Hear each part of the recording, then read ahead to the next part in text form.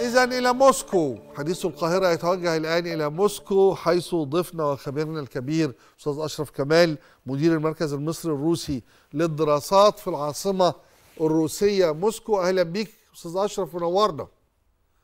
منور بيك يا أستاذ إبراهيم أهلا وسهلا بحضرتك. المقعد في الاستوديو منتظرك عموما يعني لكن باستثمار وجودك في موسكو خليني يعني أعرف انطباعك الأول وأنت دي أول مرة ترجع لموسكو بعد الحرب الأوكرانية. إلى أي حد بالظبط. أنت ترى الأمر على المستوى المجتمعي والسياسي بعد هذه الحرب؟ بالظبط هي أول زيارة ليا بعد الحرب يعني بعد العمليات العسكرية في أوكرانيا. أعتقد أن المجتمع الروسي هنا يعني أن الحياة تسير بشكل طبيعي جدا.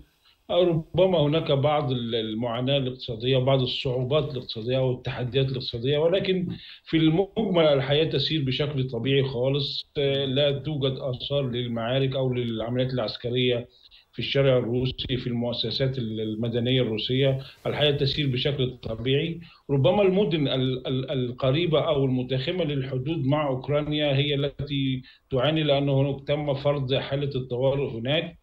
نتيجة بعض القصف ال- الأوكراني لبعض المدن وبعض المناطق هناك ونتيجة قرار التعبئة الجزئية في آه، دول المناطق المنضمة حديثا إلى آه، إلى إلى روسيا. وبالتالي المناطق البعيدة عن موسكو ومنهم العاصمة آه، المناطق البعيدة عن أوكرانيا ومنهم العاصمة موسكو الحياة تسير بشكل طبيعي. صحيح أنا هناك- متفاهم إنه ما فيش خطر أمني أو عسكري. أنا كنت بسأل على الروح المعنوية على الجدل السياسي على وجود ال- العمليات العسكرية على جدول أعمال النقاشات في البيوت أو في المحلات أو في المحافظات أو في المؤسسات يعني هو آه يعني بالنسبة للنخبة يعني أنا هنا هفرق بين آه، الحديث الشرعي الروسي المواطن العادي والنخبه.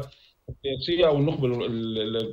النخبة السياسية يعني آه، لديها آه، تحفظ كبير فيما يتعلق ب يعني لماذا لا تستخدم روسيا وتحسم الأمر مبكرا؟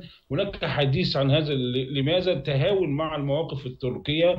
آه، لماذا يعني آه، عندما ضرب الإقليم ال- ال- ال- عندما ضرب آه، كوبري ال- القرم آه، آه. جسر القرم وعندما ضرب الأسطول الروسي في آه، سيفاستوبول اسطول البحر الأسود وبالتالي رد يعني هنا النخبة تتحدث عن أن رد الفعل الروسي لم يكن بالشكل القوي أو الحازم أو أو الصارم حتى لا تتكرر مثل هذه الأعمال من جانب أوكرانيا ومن جانب بعض الدول الداعمة لها.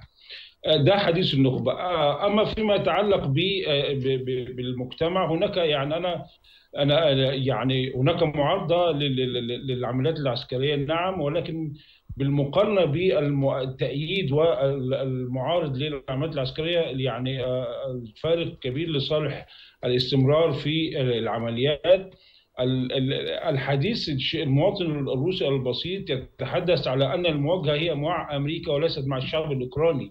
أن المواجهة هي مع الولايات المتحدة الأمريكية التي تظل هي العدو التاريخي للشعب الروسي آه، في عهد القيصر وفي عهد الاتحاد السوفيتي ثم روسيا ما بعد الاتحاد السوفيتي. هناك حالة من من من من, التجييش آه، أو أو حالة من الشخصية الروسية تحاول أن تفرض نفسها من جديد بأنها يعني آه، يعني أنه لا يمكن أن تخضع لأي إملاءات من جانب الولايات المتحدة الأمريكية وأنه يجب مواجهة سياسات الولايات المتحدة الأمريكية ويجب يعني إظهار الشخصية الحقيقية أو الشخصية القومية الروسية في مواجهة الولايات المتحدة الأمريكية أو الغرب الجماعي كما يقولون. وهناك يعني إيمان ما بين النخبة وما بين ال- ال- ال- المجتمع المواطن الروسي العادي. هناك إيمان أن أوروبا يعني تتعرض لضغط كبير و وهناك يعني إدراك بأن ال- ال- العلاقات مع أوروبا ستعود شيئا فشيئا إلى إلى الدفء من جديد. أما العلاقات مع الولايات المتحدة فهناك يعني حالة من الاستياء والغضب الصارم تجاه الولايات المتحدة الأمريكية وبالتالي من الصعوبة ما كان أن تعود أن تكون هناك توافقات مع الولايات المتحدة في عدد من الملفات الكثيرة. آه، آه، آه، وبالتالي ده شعور النخبة وده شعور الشارع الروسي. طيب بالنسبة ل- ده لل- لل- للكلام عن الحرب أو العمليات العسكرية. الناحية الأخرى بقى هل في مظاهر في الشارع الروسي لفكرة الحصار الاقتصادي العقوبات الاقتصادية. هل الأمور تغيرت على نحو في السلوك اليومي أو في المظاهر التجارة ومظاهر يعني الحياة اليومية؟ لا الحياة اليومية تسير بشكل طبيعي. احتياجات المواطن العادية اليومية الاحتياجات اليومية متوفرة وإن كان هناك بعض ارتفاع في بعض الأسعار بعض السلع ولكن كل شيء متوفر كل شيء موجود بما يعني يلزم هناك دائما تدخل من الحكومة فيما يتعلق بصرف يعني تحمل نفقات بعض بعض بعض الخدمات زي الكهرباء والغاز والمياه الدافئه والمياه السخنه في لأن إحنا دلوقتي في فصل الشتاء القارس وفيما يتعلق بالغاز الطبيعي في المنازل والبيوت. اذا هناك تدخل من الحكومة هناك مراعاة للموقف الراهن وصعوبة التحديات الاقتصادية التي تواجه المواطن الروسي. ولكن أنا دائما الحكومة يعني حتى في التلفزيون وفي الحكومة تقارن ما بين ما ستواجهه أوروبا أو تواجهه أوروبا الآن وبين ما يعيش فيه المواطن الروسي من آه. بالظبط. يعني إذا كنتم تألمون فهم يألمون أكثر منكم يعني.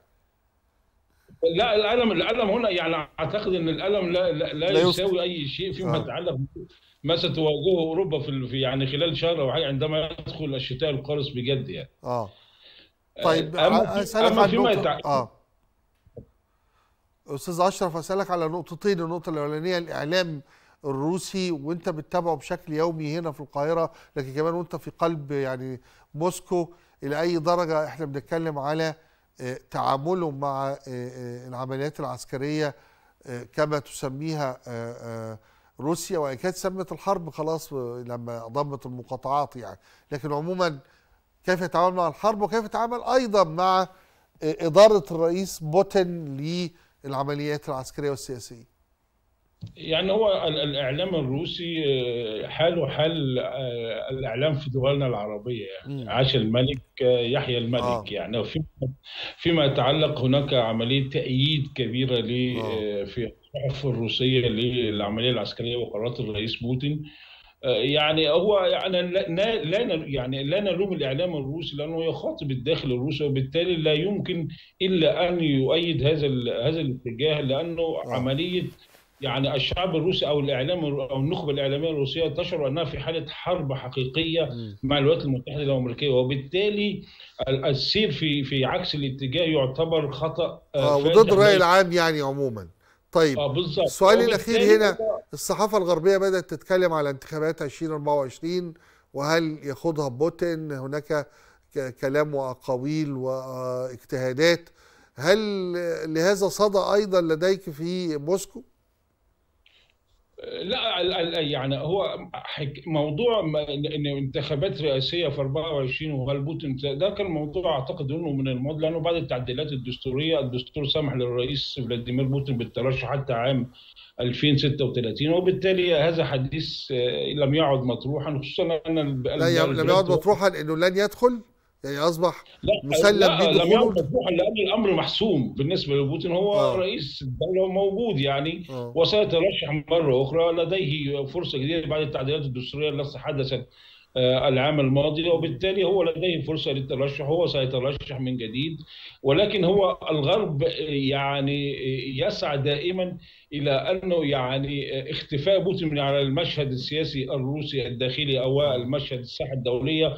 هو حلم يتمناه الغرب أكثر من أي أي شيء آخر. وبالتالي أن بوتين أو روسيا بوتين هي التي تمثل التحدي الأكبر أمام الغرب وبالتالي سنجد خلال عندما يقترب عام 2024 سنجد أن هناك تكهنات وهناك بعض التقارير الصحفية الغربية تتحدث على أن بوتين لن يترشح وان بوتين يجب أن ان يتنحى جانبا ويكون هناك شخصية أخرى إلى آخره بشعارات الديمقراطية والحريات التي تمارسها الولايات المتحدة الأمريكية منذ عقود فيما يتعلق بالدول أو أو الدول المستهدفة أو الأنظمة المستهدفة والتي ترى فيها تعارض مصالح الولايات المتحدة الأمريكية في مناطق مختلفة. إذا موضوع رئاسة الرئيس بوتين موجود ولكن هو النقطة هنا يعني هناك حديث في النخبة الروسية ولكن ليس الشارع الروسي النخبة الروسية تتحدث ماذا بعد بوتين؟ روسيا ما بعد بوتين ماذا سيحدث؟ هل ستكون هناك شخصية أخرى في في قوة وصرامة وحزم الرئيس بوتين في دفاعنا عن هذا الوطن؟ أم ستكون هناك شخصية أخرى؟ هناك مخاوف من أن تعود شخصية يلتسن ما بعد في روسيا ما بعد بوتين وبالتالي يعني ينهار كل ما بناه الرئيس بوتين خلال السنوات السابقة. هذا هو الحديث الذي يدور سواء بوتين ترشح في 2024 أو بعد 2036 أو بعد 2030 الحديث هنا يدور حول ماذا بعد بوتين؟ من سيخلف بوتين في يعني سواء 24 أو بعد ذلك؟ هذا هو السؤال الجوهري وهو هو هو السؤال الذي يطرحه تطرحه المناقشات في أوساط النخبة الروسية. وبالتالي روسيا ما بعد بوتين هذا هو إذا إذا وده العنوان الاهم لدى النخبة السياسية الرخبة السياسية الروسية يعني روسيا ما بعد بوتين. هل سيكون هناك رجل قوي وصارم وحازم دفاعا عن مصالح الدولة الروسية؟ أم المخاوف من عودة شخصية شخصية باريس يلسن هو الذي الحقيقة أستاذ أشرف وكأن يعني الدول بتعلن إنها دول مش دول مؤسسات وإنها دول أفراد وأشخاص حكامها يأتي شخص ضعيف أو يأتي شخص قوي فتتقوى البلد أو تضعف بينما الدول الناجحة والقادرة والمفروض إنه روسيا يعني تعطي مثالا لهذا تبقى دولة مؤسسات يذهب من يذهب ويأتي من يأتي تظل قوة هذا البلد. لكن عموما يبقى إن إحنا نشكر أستاذ أشرف كمال وننتظره معنا هذه حرب ستطول وبالتأكيد هيبقى معنا في القاهرة بإذن الله يفسر ويحلل معنا تطورات الوضع إلى الفاصل.